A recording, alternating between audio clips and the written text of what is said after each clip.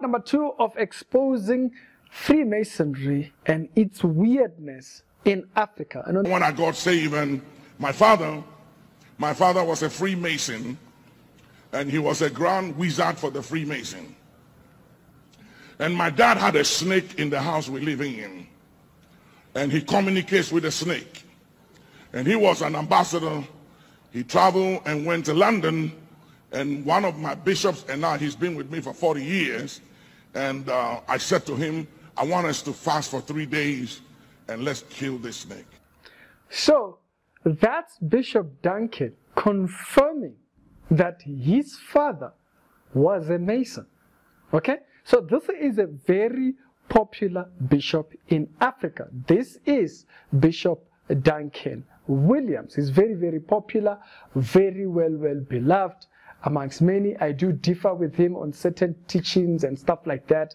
But on this particular episode, we are talking about this exposure on Freemasonry that's going on and the one that we are talking about. On the first part, we confirmed that the Knights of Malta, which um, you saw uh, Archbishop uh, Tabu part of, it's actually known as the Knights of Malta. Currently, it's known as the Knight of St. John, but in its original name, it is the Knight of Malta. We, and then on the previous episode, then we then dug deep further to confirm from this gentleman here that um, the Knights of Malta is also a part of Freemasonry. And if it's a part of Freemasonry, we then showed the established idea around Catholicism and how they are kind of meshing the entire thing. You have to check the full episode, it will be down in the pinned comments. So, somebody actually asked this question Can a Christian be a Mason? Can a Christian get involved in any of these fraternities? And so, one I saw that particular question. I think Joseph asked that question in the comment section. Thank you very much.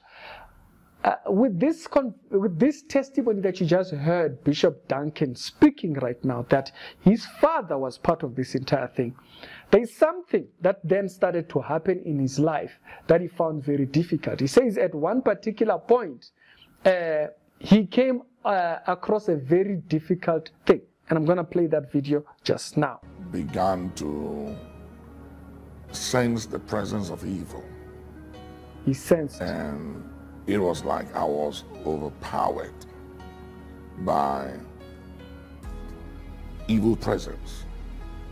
And I could hear them. But I didn't see, but I could hear them. And then remember, father is a mason, and there's this curse in the house or so forth, and it's now influencing things. So can a Christian be?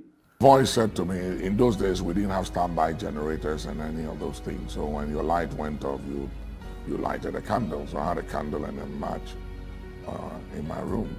So the voice said, light the candle. Light dear. the candle. And he said, place your right palm on the flame. And uh, it didn't make sense, but it was as if I could not resist the power of the voice. And so I placed my right palm on the flame, and that is the result of this. I could see. So he gives that testimony, you can go look out for it. He explains because of this involvement, because of his father's involvement in this dark stuff, it now brought about these ritualistic spirits and whatnot and all these things, and to a point where they now influenced him at his young age before he was saved to actually go to as far as burning his own head. Okay? So that's how he actually lost. As a matter of fact, I didn't even know Duncan Williams fingers with all these years. I never even realized. You can confirm down in the comment section if you were just like me. I didn't even know until a while ago. And so, can a Christian be a Mason? No. And another reason, let me give you another reason why a Christian cannot be a Mason. Remember this guy from part number one, where we showed that he does confirm that the Knights of Malta, the Knights of St. John, are part of the Freemasons, the entire thing. There's something he says every single time when he finishes a video. At the end of every single video that he makes, he always has this statement here. And the statement says, So mote it be. Now, this particular statement, it's a, a statement that's That's equivalent to saying, so shall it be. Okay? But they love using the statement in Satanism. Okay? So already you can already see this uh, thing. You can Google it, you can research it. Okay? Not making it up. they love using the statement. Some of you might have never even heard the statement. So would it be, so would it be, so shall it be. This is a statement that they say in Satanism and all those kind of things. They love using that particular thing, but mainly Freemasonry and so forth. And so, because of these oaths that they get, they take part in, because of all these rituals that you can see what they have done uh, to some of the house members, uh, like uh, Bishop Duncan over there, to a point where their spirits, to a point where it influenced him to that certain level. A Christian can't get involved in anything like that. You can't. You just cannot be involved in that.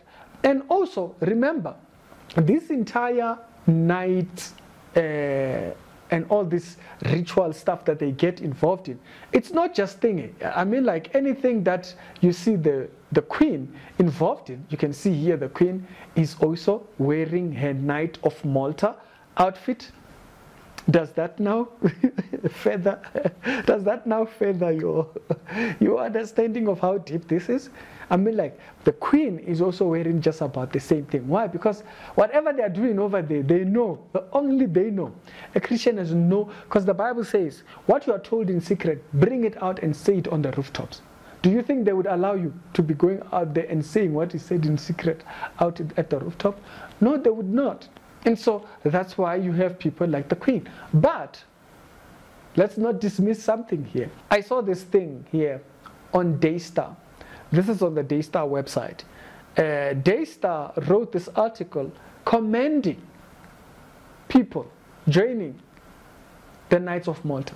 So he started being inspired by the Masons. He says, uh, I saw many parallels in the history of the Knights of Malta, who are called the Knights of St. John. He also confirms the, the delusion there of changing names and it's the, the bravery of the Knights of Malta with what he, he aspires for.